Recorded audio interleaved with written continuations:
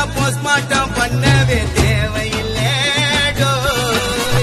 பாட்டு பாட்டெல்லாம் தனித்தனியா பிச்சு வைப்பேன். டாக்டருக்கு வேலை இல்ல.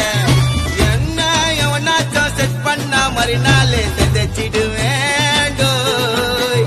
சந்திரி பண்ணாம மப்சல்ல கூட்டின்னு போய் குழி தோண்டி புதைச்சிடுவேன். நான் பேச மாட்டேன்.